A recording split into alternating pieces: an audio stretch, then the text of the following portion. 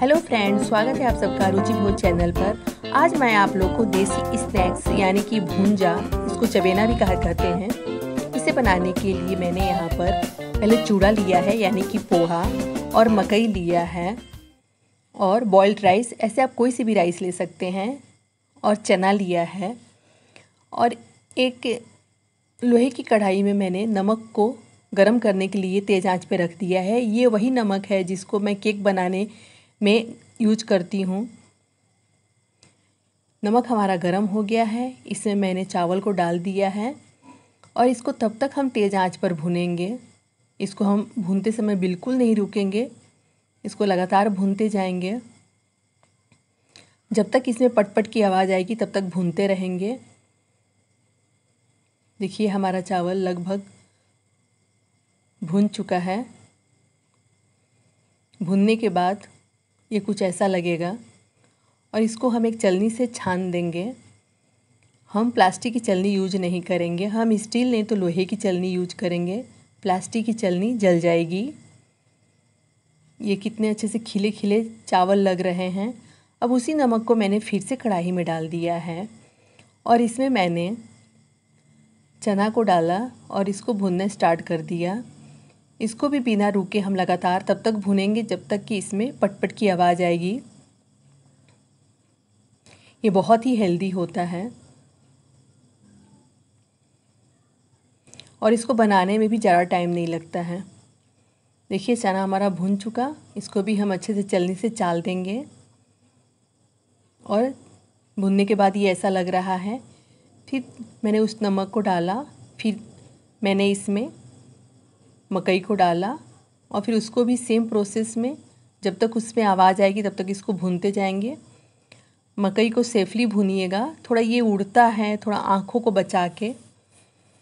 इसको भी लगातार हम भून लिए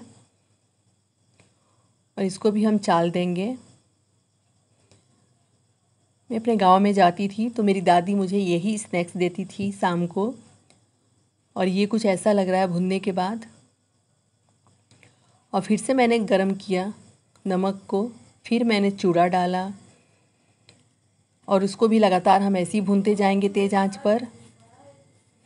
और इतने अच्छे हेल्दी स्नैक्स के लिए फ्रेंड्स एक लाइक तो बनता है। और उसको भी हम चाल देंगे और ये भूनने के बाद कुछ इस तरह का लगेगा। फिर उसी उसी प्रोसेस को फिर से करेंगे हम। नमक में फिर मैंने थोड़ी सी मूंगफली डाल दी, क्योंकि मूंगफली चबेने को और टेस्टी बना देता है। इसको भी वैसे ही भूनेंगे हम तेज़ आँच पर लगातार, और इसको भी हम चाल देंगे, नमक को निकाल देंगे।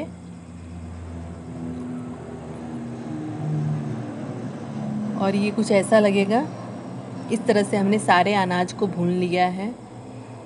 देखिए, और मैं एक बर्तन में पहले मैंने मकई को डाला, फिर मैंने चूड़ा डाला, इसमें भुना हुआ चावल डाला, चना डाला, मूंगफली को भी डाल दिया और एक छोटा छोटा कटा हुआ प्याज भी डाल दिया और मैंने दो हरी मिर्च काट कर डाल दी। इसे मैं देसी तरीके से बना रही हूँ, इसलिए मैं इसमें सरसों का तेल डालूँगी।